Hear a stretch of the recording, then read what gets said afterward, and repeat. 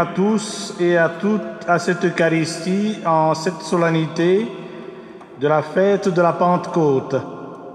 Nous sommes rassemblés au nom du Père et du Fils et du Saint-Esprit.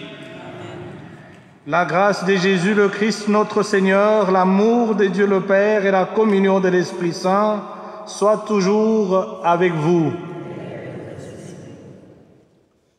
La messe de ce soir, je la préside en mémoire de Gaston Couture, messe recommandée par la famille Gilberte Couture. Et nous sommes ici aussi en union de prière pour Lucien Bilodeau et Simone Turcotte, messe recommandée par Ghislaine, Jean-Guy et les enfants. Pour Simone Boulet, messe recommandée par sa nièce Fernande Lapointe pour François Morin, 14e anniversaire depuis son retour à la maison du Père, messe recommandée par Odette et les enfants. Pour Anita Pepin, premier anniversaire depuis le son retour à la maison du Père, messe recommandée par ses deux fils et ses petits-enfants. Et pour, pour Janine, Sébastien et Jean-Charles Isabelle, messe recommandée par la famille.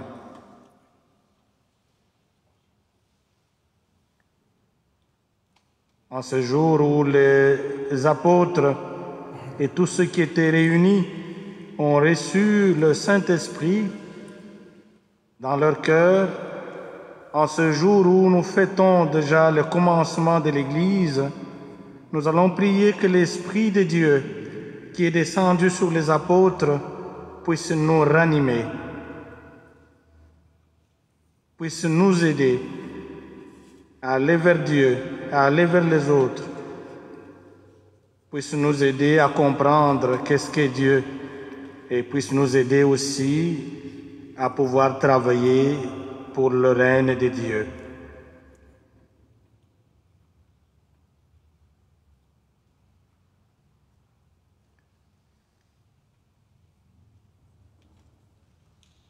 Avant de, de, demander tout ce don de l'Esprit au Seigneur, demandons que lui-même puisse nous purifier et qu'il nous pardonne. Oui, l'Esprit lave ce qui est souillé, il baigne ce qui est aride et réchauffe ce qui est froid, pour qu'il vienne à nos cœurs et renouvelle en nous ce don, invoquons la miséricorde de Dieu. Seigneur Jésus, tu donnes ta paix et tu souffles sur nous ton esprit. Prends pitié de nous.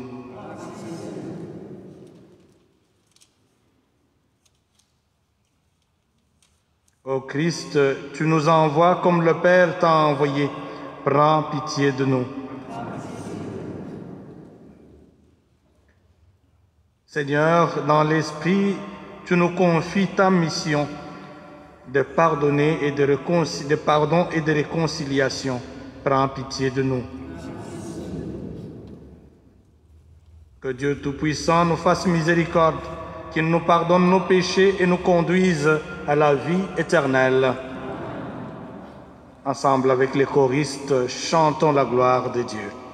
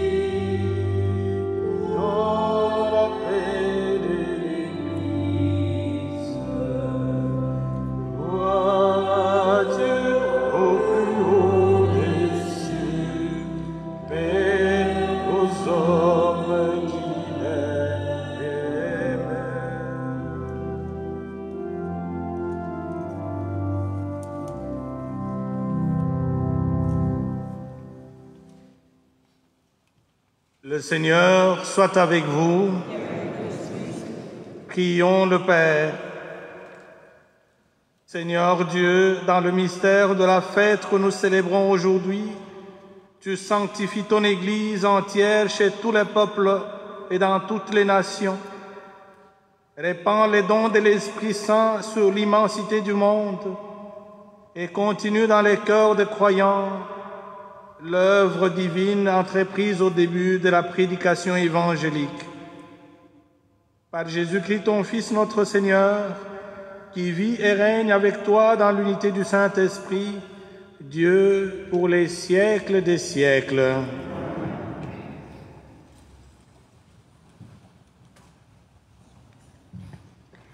Lecture du livre des Actes des Apôtres. Quand arriva le jour de la Pentecôte, au terme des cinquante jours après Pâques, ils se trouvaient réunis tous ensemble. Soudain, un bruit survint du ciel comme un violent coup de vent. La maison où ils étaient assis en fut remplie tout entière. Alors leur apparurent des langues qu'on aurait dites de feu, qui se partageaient il s'en posa une sur chacun d'eux. Tous furent remplis d'Esprit Saint. Ils se mirent à parler en d'autres langues, et chacun s'exprimait selon le don de l'Esprit. Or, il y avait résidant à Jérusalem des Juifs religieux venant de toutes les nations sous le ciel. Lorsque ceux-ci entendirent la voix qui retentissait, ils se rassemblèrent en foule. Ils étaient en pleine confusion parce que chacun d'eux entendait dans son propre dialecte ceux qui parlaient. Dans la stupéfaction et l'émerveillement, ils disaient, Ces gens qui parlent ne sont-ils pas tous galiléens? Comment se fait-il que chacun de nous les entende dans son propre dialecte? Sa langue maternelle. Parthes, Médès et Élamites, habitants de la Mésopotamie, de la Judée et de la Cappadoce, de la province du Pont et de celle d'Asie, de la Phrygie et de la Pamphylie, de l'Égypte et des contrées de Libye proches de Cyrène, Romains de passage, Juifs de naissance et convertis, Crétois et Arabes, tous nous les entendons parler dans nos langues des merveilles de Dieu. Parole du Seigneur.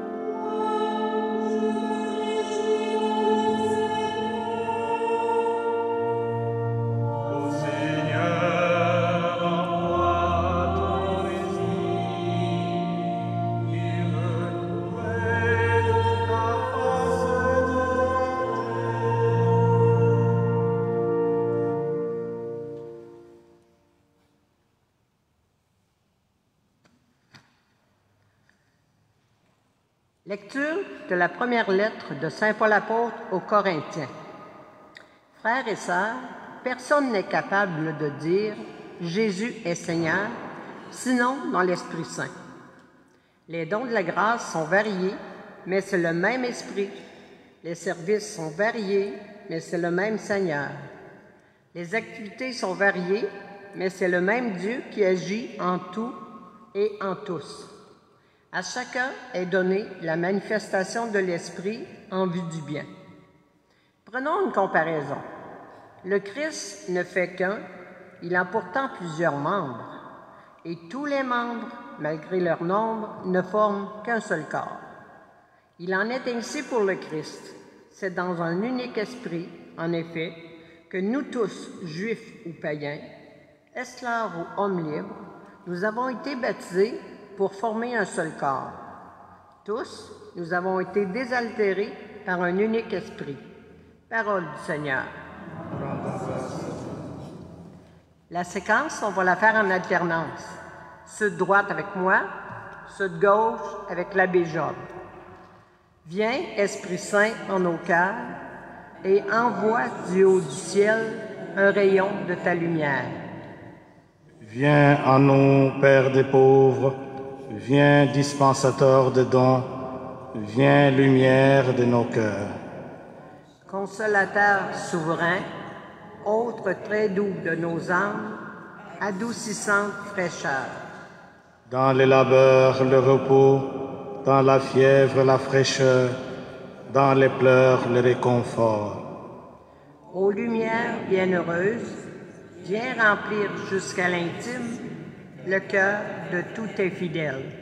Sans ta puissance divine, il n'est rien en aucun homme, rien qui ne soit perverti. Lave ce qui est souillé, baigne ce qui est aride, guéris ce qui est blessé. Assouplis ce qui est raide, réchauffe ce qui est froid, rend droit ce qui est faussé. À tous ceux qui ont la foi et qui en toi se confient, donne tes sept dons sacrés. Donne mérite et vertu, donne le salut final, donne la joie éternelle. Amen.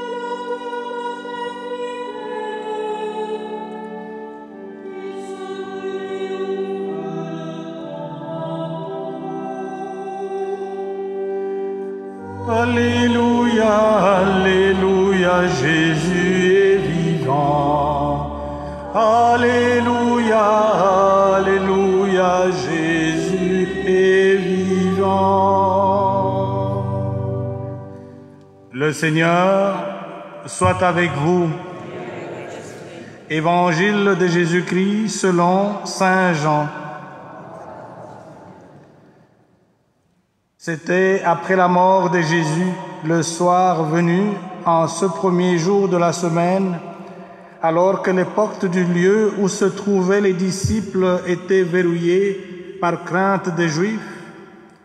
Jésus vint et il était là au milieu d'eux. Il leur dit, La paix soit avec vous. Après cette parole, il leur montra sa main et son côté. Les disciples furent remplis de joie en voyant le Seigneur. Il leur dit de nouveau, La paix soit avec vous.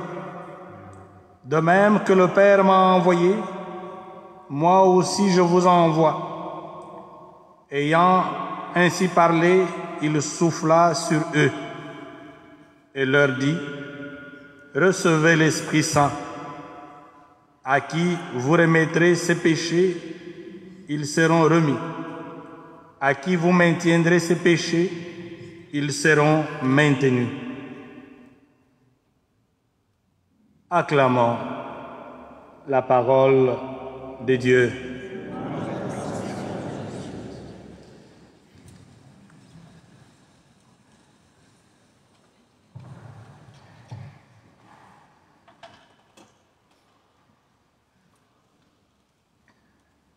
Mes chers frères et sœurs, en ce dernier, dernier dimanche de temps de Pâques où nous célébrons la Pentecôte, l'avènement de la descente du Saint-Esprit sur les apôtres, l'Église nous invite à recevoir ce don et à devenir aussi missionnaires. Dans la première lecture, on nous parle du vent. Les apôtres entendent, enfermés, entendent comme un grand coup de vent. Le symbole de vent, le vent est mystérieux, le vent est imprévisible, le vent est insaisissable. Le doux vent du printemps assèche les rigoles de la neige fondante. Le vent est pratiquement l'unique moyen que nous avons de sentir la présence de l'air, qui ne se voit ni, ne se sent. Il en est de même de l'Esprit de Dieu, pratiquement l'unique moyen que nous avons de sentir la présence de l'invisible dans notre vie. Un vent qui fait du bien, un vent qui nous soulève, un vent qui nous conduit. L'Esprit Saint cela.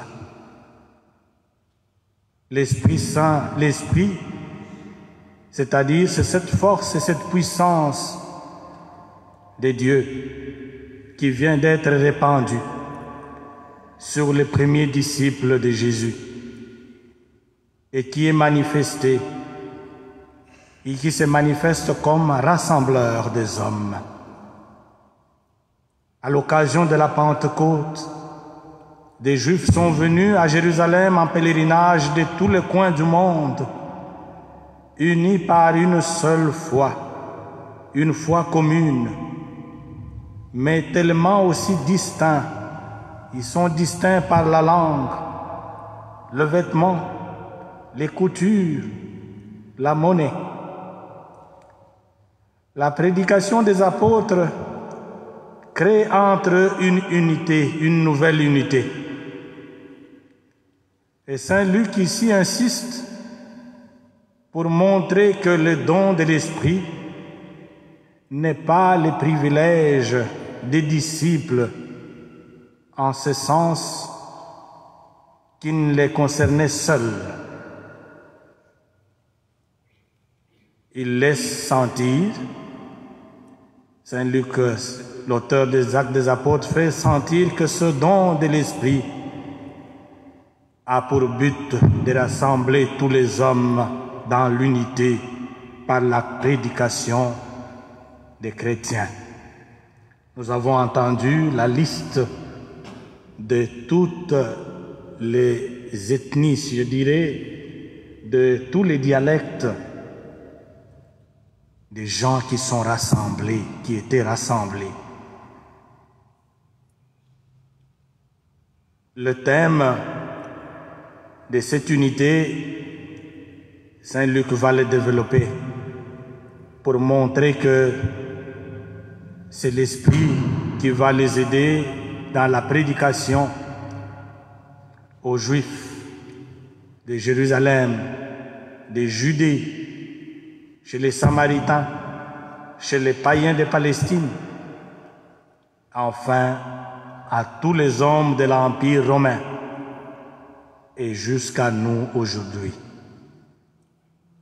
Aujourd'hui, nous avons des témoins de ces violents coups de vent qui réussissent à faire tomber des clôtures de bois. C'est un phénomène comme celui-là qui ressemble à la Pentecôte, qui ressemble à la Pentecôte. Aujourd'hui encore, le même esprit qui a rassemblé les gens les jours de la Pentecôte, c'est le même esprit qui est à l'œuvre pour faire tomber ce qui sépare les hommes et les divise. L'esprit de Pentecôte vient unir.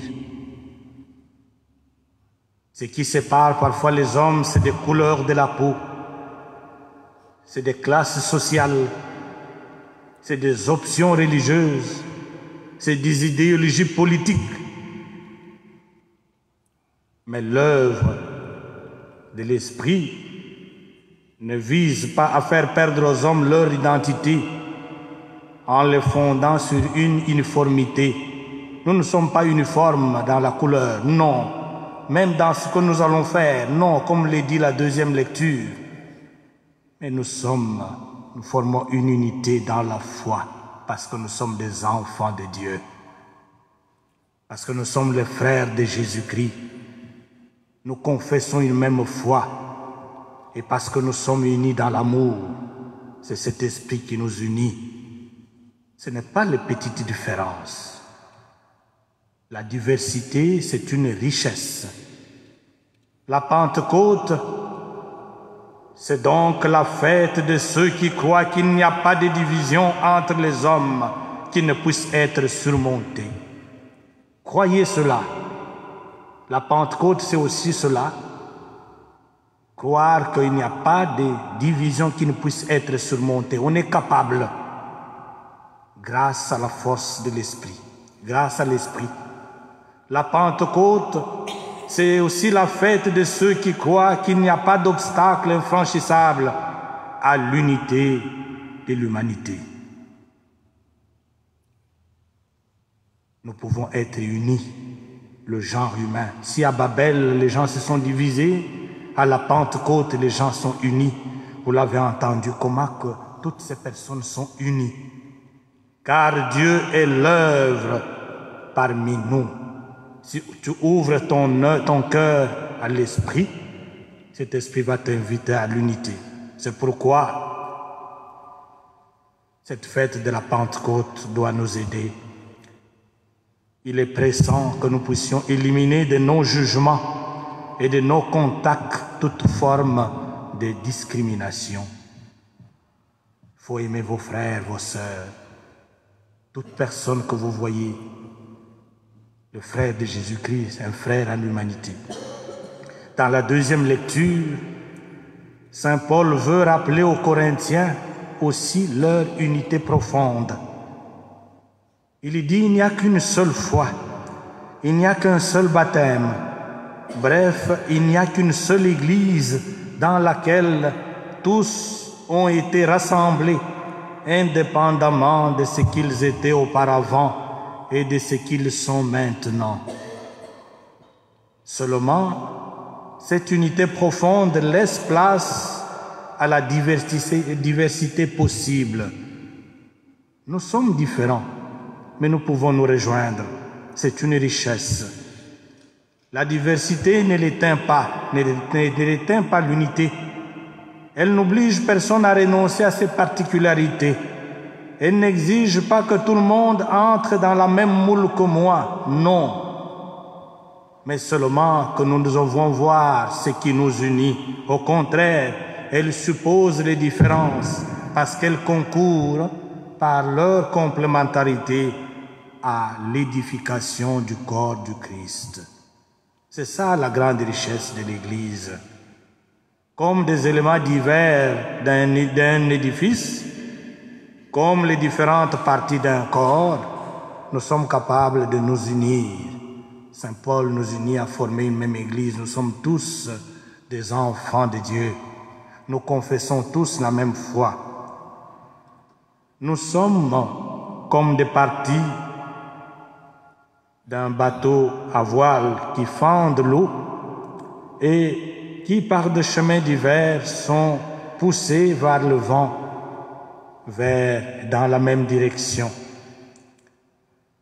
C'est une image que Saint Paul évoque pour nous dire que tous les chrétiens et tous les groupes de chrétiens doivent tenir en main, tiennent en main leur gouvernail et doivent avancer malgré leurs caractéristiques vers le bateau de leur bateau. Ils sont poussés par un vent qui les conduit dans la même direction et dans, vers les mêmes horizons. Tous nous cheminons vers les mêmes horizons et dans la même direction nous marchons. La Pentecôte, justement, c'est aussi cette fête de ceux qui croient que ces différences entre les hommes ne sont pas un facteur de division, mais un facteur d'unité. Que la diversité et la complémentarité doivent être favorisées comme une source d'enrichissement mutuel. Il n'y a aucune différence qui puisse créer un obstacle insurmontable à l'unité. C'est pourquoi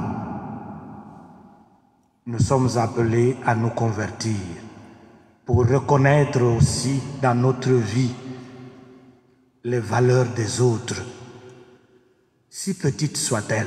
Reconnaissez les valeurs des autres. Là où nous vivons, ce que l'autre fait de bon, ce qu'il y a de bien, ce qu'il apporte, c'est très bien. Ça, ça mène la, la richesse, l'unité. Et dans l'Évangile, Jésus manifeste sa présence vivante à ses disciples. Il les remplit de, joie, selon ce qu'il leur avait promis avant sa mort. Je vous révérerai et votre cœur se réjouira. Jésus leur manifeste sa victoire sur la mort. Jésus révèle aussi la victoire sur le péché conçu par lui et les Juifs de son temps comme une force qui habite l'homme et le, tient en esclavage.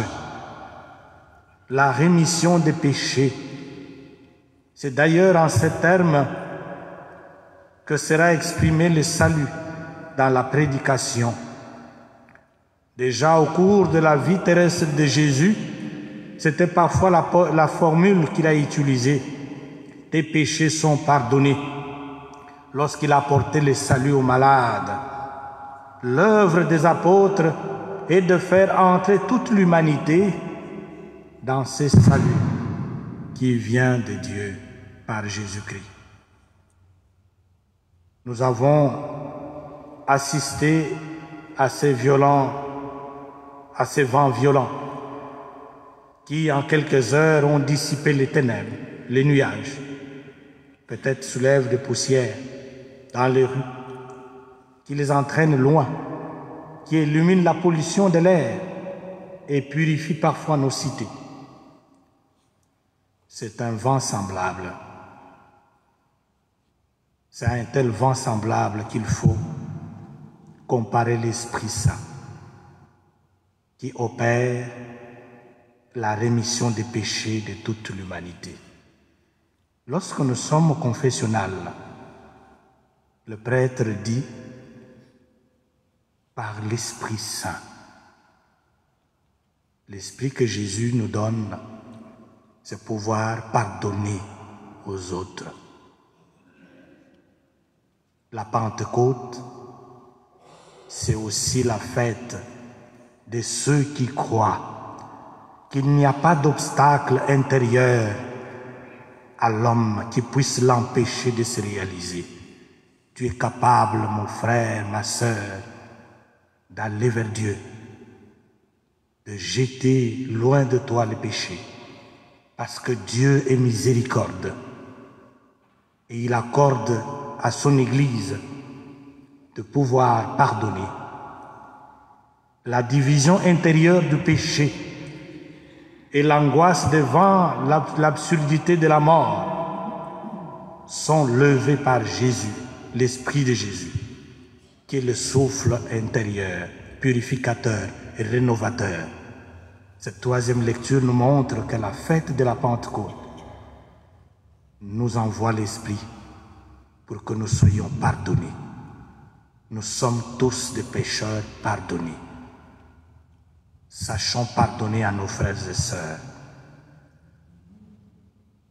Qu'il s'agisse de faire tomber les clôtures, les murs, comme dans la première lecture, qu'il s'agisse que nous puissions pousser de l'avant comme des voiliers et qui nous purifie. L'Esprit Saint, c'est un vent sauveur. Il faut s'exposer à son action. Exposez-vous à l'Esprit Saint. Ouvrez votre cœur à l'Esprit Saint. Que notre cœur s'ouvre pour que nous puissions nous laisser conduire par l'Esprit et qu'à chaque instant de notre vie, nous puissions être à l'écoute de l'Esprit Saint et que nous, nous puissions travailler pour l'œuvre et l'accomplissement de ce que Dieu veut que nous puissions accomplir ici. Travailler pour lui, pour sa gloire, mais aussi pour notre salut.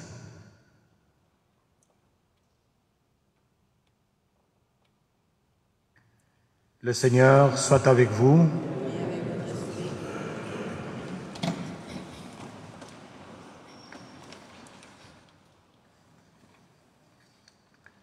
Ensemble, nous pouvons proclamer. Je crois en Dieu, le Père Tout-Puissant, Créateur du ciel et de la terre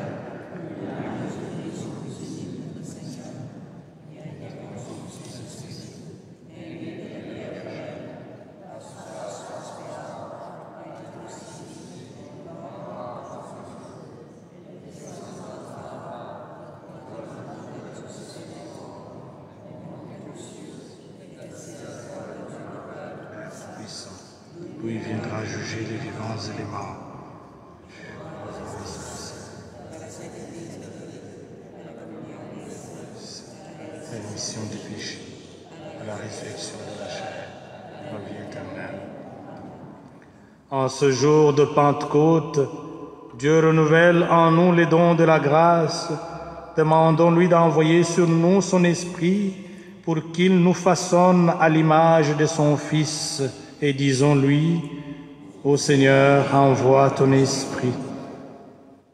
Le Père a fait reposer sur son Fils Jésus un esprit de sagesse et d'intelligence, qu'il incite ceux et celles qui nous gouvernent à se tourner vers lui pour bâtir un monde plus juste. Seigneur, envoie ton esprit. Le Père a fait reposer sur son Fils Jésus un esprit de conseil et de force, qui encourage les parents, les éducateurs et les éducatrices à manifester l'amour et la tendresse de Dieu. Seigneur, envoie ton esprit. Le Père a fait reposer sur son Fils Jésus un esprit de connaissance et d'affection filiale, qu'il donne à la génération montante la grâce et de le connaître et de l'aimer. Ô Seigneur, envoie ton esprit. Le Père, par son Fils Jésus, le soir de Pâques, a donné sa paix aux disciples et les a comblés de son amour, qu'il augmente en nous la joie de croire afin qu'elle devienne contagieuse. Ô Seigneur, envoie ton esprit. Le Père a confié à son Fils une mission qu'il a transmise à ses disciples, qu'il fasse de nos communautés des instruments de sa miséricorde. Ô Seigneur, envoie ton esprit.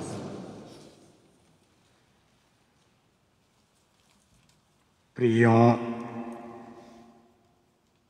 Dieu notre Père, toi qui veilles sur tous tes enfants, écoute nos prières, que ton esprit nous guide comme il a guidé ton Fils, lui qui règne avec toi au plus haut des cieux maintenant et pour les siècles des siècles.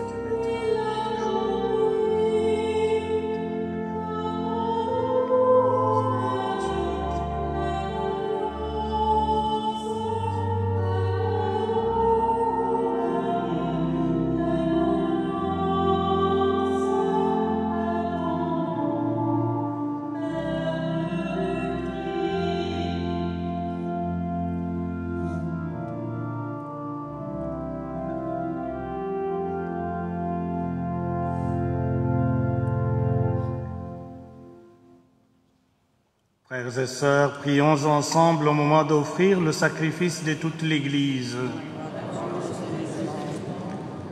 Prions. Nous t'en prions, Seigneur, selon la promesse de ton Fils, que l'Esprit Saint nous fasse entrer plus avant dans l'intelligence du sacrifice que nous célébrons et nous ouvre à la vérité tout entière par le Christ notre Seigneur. Le Seigneur soit avec vous. Élevons notre cœur et rendons grâce au Seigneur notre Dieu. Vraiment, il est juste et bon pour ta gloire et notre salut de t'offrir notre action de grâce, toujours et en tout lieu, Seigneur Père très saint, Dieu éternel et tout-puissant. Pour accomplir jusqu'au bout les mystères de la Pâque, tu as répandu largement aujourd'hui l'Esprit Saint sur tous ceux dont tu as fait tes enfants d'adoption en les unissant à ton Fils unique. C'est ton esprit qui, au commencement de l'Église, a donné à tout le peuple la connaissance du vrai Dieu et a rassemblé les diverses langues dans la confession d'une seule foi. C'est pourquoi la joie pascale rayonne par tout l'univers. La terre entière exulte. Les puissances d'en haut et les anges dans le ciel chantent sans fin l'hymne de ta gloire.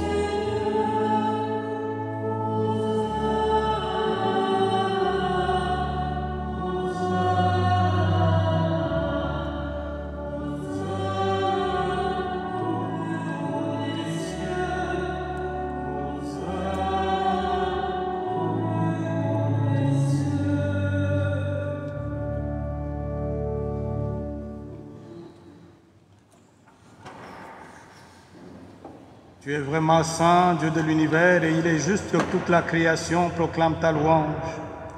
Car c'est toi qui donnes la vie, c'est toi qui sanctifies toutes choses. Par ton Fils Jésus-Christ notre Seigneur, avec la puissance de l'Esprit Saint. Et tu ne cesses de rassembler ton peuple afin que du levant au couchant du soleil, une offrande pure soit présentée en ton nom. C'est pourquoi nous voici rassemblés devant toi, Dieu notre Père, et dans la communion de toute l'Église, nous célébrons le jour très saint de la Pentecôte où l'Esprit Saint s'est manifesté aux apôtres par d'innombrables langues de feu. Nous te supplions de consacrer toi-même les offrandes que nous apportons. Sanctifie-les par ton Esprit pour qu'elles deviennent le corps et le sang de ton Fils Jésus-Christ notre Seigneur qui nous a dit de célébrer ce mystère. La nuit même où il fut livré, il prit le pain. En te rendant grâce, il dit la bénédiction. Il rompit le pain et le donna à ses disciples en disant, Prenez et mangez-en tous, ceci est mon corps livré pour vous.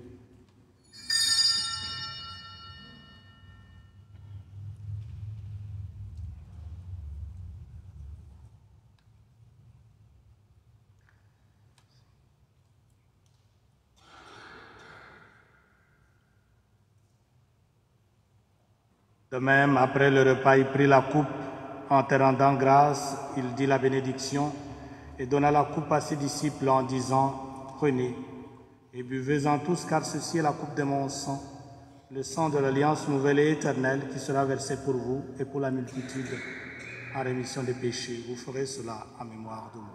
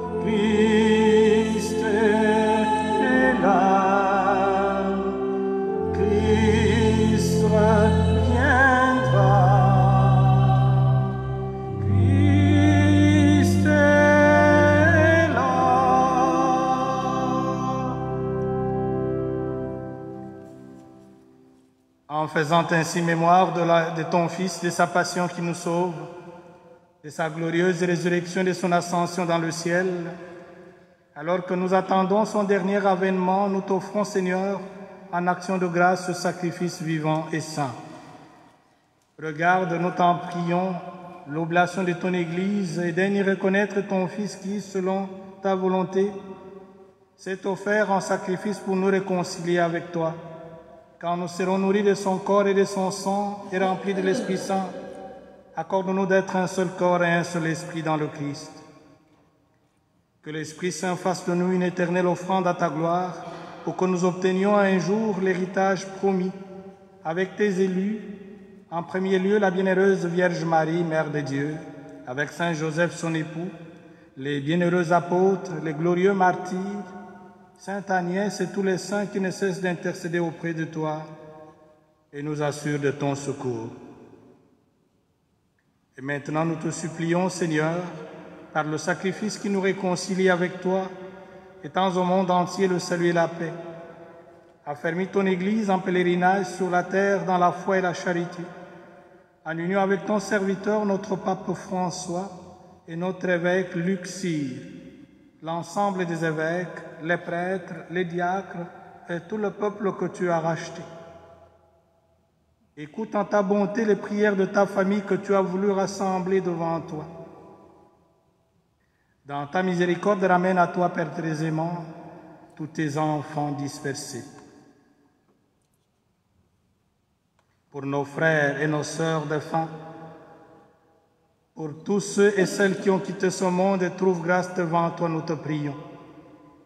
Te prions pour Gaston Couture, Lucien Bilodeau et Simone Tur- Turcotte, Simone Boulet, François Morin, Anita Pépin, Janine Sébastien et Jean-Claude et Jean-Charles Isabelle.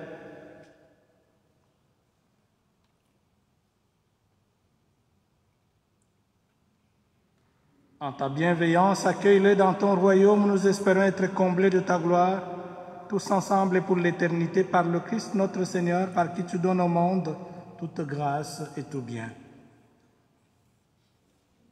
Par lui, avec lui et en lui, à toi, Dieu le Père Tout-Puissant, dans l'unité du Saint-Esprit, tout honneur et toute gloire pour les siècles des siècles. Amen. Unis dans le même esprit, disons avec confiance la prière de l'unité que le Seigneur Jésus nous a enseignée. Notre Père, qui es aux cieux, que ton nom soit sanctifié, que ton règne vienne, que ta volonté soit faite sur la terre comme au ciel. Donne-nous aujourd'hui notre pain de ce jour.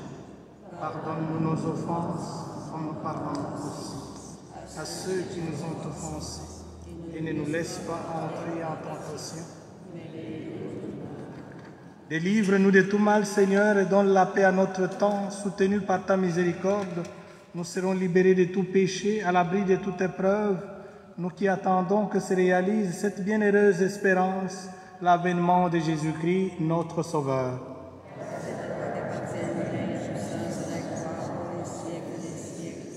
Seigneur Jésus-Christ, tu as dit à tes apôtres, je vous laisse la paix, je vous donne ma paix. Ne regarde pas nos péchés, mais la foi de ton Église. Pour que ta volonté s'accomplisse, donne-lui toujours cette paix et conduis-la vers l'unité parfaite, toi qui vis et règnes pour les siècles des siècles. Que la paix du Seigneur soit toujours avec vous. Dans l'amour du Christ, donnez-vous la paix.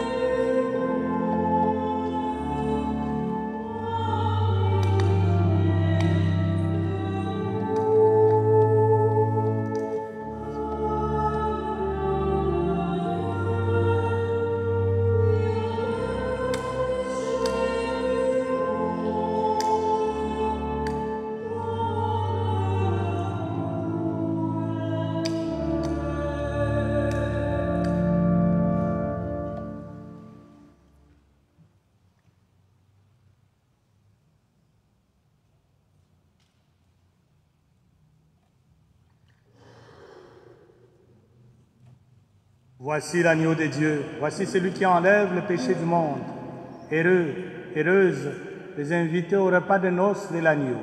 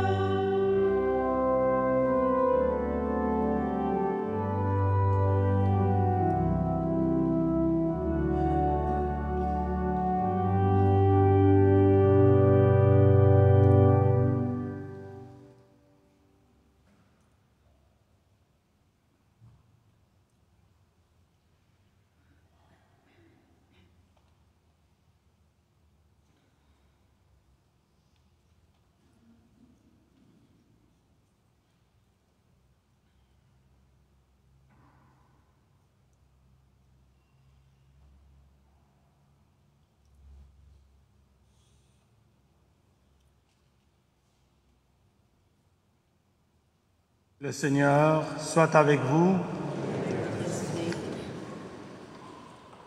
Prions le Seigneur. Seigneur Dieu, tu accordes largement les dons du ciel à ton Église. Protège la grâce que tu lui as donnée. Que les fusions de l'Esprit Saint agissent toujours, agissent avec, avec toujours plus de force et que cette nourriture spirituelle multiplie les effets de la rédemption éternelle par le Christ notre Seigneur. Vous allez écouter quelques annonces.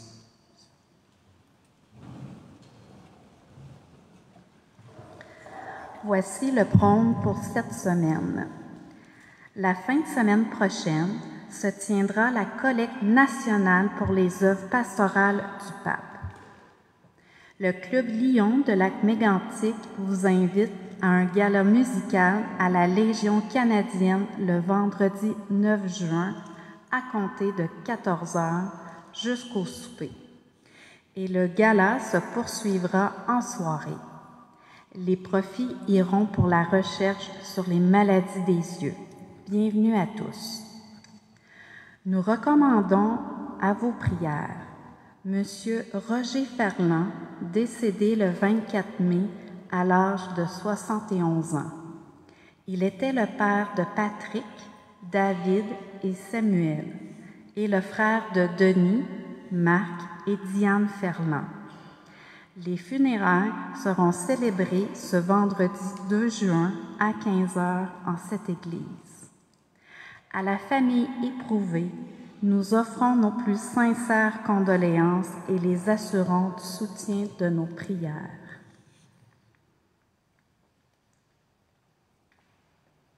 Merci de votre fidélité, de votre présence. Je remercie les bénévoles qui sont avec moi à l'hôtel, qui ont prêté main forte, et toutes les personnes qui ont participé à cette Eucharistie pour qu'elle réussisse. Merci à Marie-Josée et sa cousine qui nous ont prêté leur voix pour louer le Seigneur ce soir. Je souhaite à tous une belle fête de Pentecôte, que l'Esprit Saint agisse en chacun de nous et selon ce don pour que nous puissions travailler à l'œuvre de Dieu et la transformation du monde. Le Seigneur soit avec vous. Dieu, le Père des Lumières, a voulu éclairer le cœur des disciples par l'effusion de l'Esprit consolateur, qu'il vous donne la joie de sa bénédiction et vous accorde à jamais les dons de l'Esprit.